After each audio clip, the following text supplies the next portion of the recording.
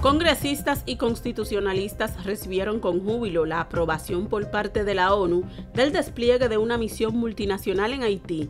El movimiento Guardianes de la Constitución señaló que el despliegue militar en Haití es una garantía de gran valor para preservar el Tratado Fronterizo de 1929. Que este movimiento se siente regocijado con el triunfo que ha obtenido la diplomacia dominicana al lograr que las Naciones Unidas recomienden al Consejo de Seguridad de que se apruebe el envío de tropas militares a Haití con la finalidad de devolverle a esa nación la seguridad y la oportunidad de un desarrollo en democracia en algún momento. Para el senador de La Vega, Rogelio Genao, la aprobación del envío de tropas a Haití es una victoria diplomática para la República Dominicana. La resolución de la ONU que autoriza, el Consejo de Seguridad, que autoriza una intervención multilateral en Haití, es un triunfo de la diplomacia dominicana.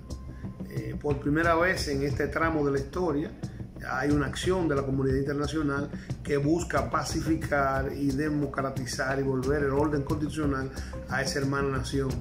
Y hay que reconocer eh, las ingentes acciones que ha hecho nuestro gobierno, principalmente nuestro presidente y nuestra cancillería, y hay que reconocerlo como, un gran triunfo de la diplomacia y se acerca eh, por lo menos eh, el principio del fin de, de esa eh, situación convulsa que ha ahí.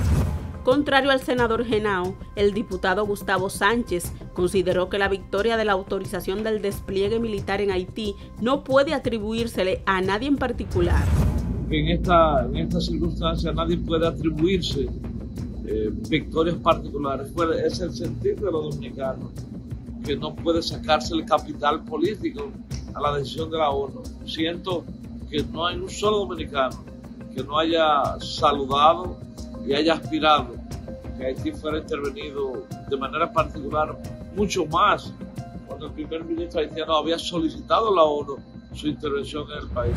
El senador por la provincia Pedernales, Dionis Sánchez, dijo que la República Dominicana debe estar vigilante ante el posible flujo de miembros de bandas hacia territorio dominicano producto del despliegue. Nosotros como país debemos estar preparados porque de alguna manera eso puede presionar en la frontera que intenten mayor cantidad a pasar para la República Dominicana en lo que será el, tiempo que estará controlando o tratando de controlar eh, las bandas. No sabemos cómo van a reaccionar esas bandas, no sabemos para dónde van a tratar de huir cuando tengan que, hacerlo.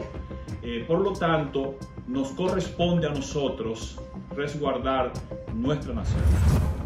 Con 13 votos a favor y dos abstenciones, el Consejo de Seguridad de la Organización de las Naciones Unidas aprobó el despliegue por un año prorrogable de una Fuerza Internacional de Asistencia a Haití con el objetivo de ayudar a la policía a luchar contra las bandas que siguen ampliando su influencia en Puerto Príncipe y en las principales carreteras del país caribeño. Para el Quinto Elemento TV, Betania Cabral.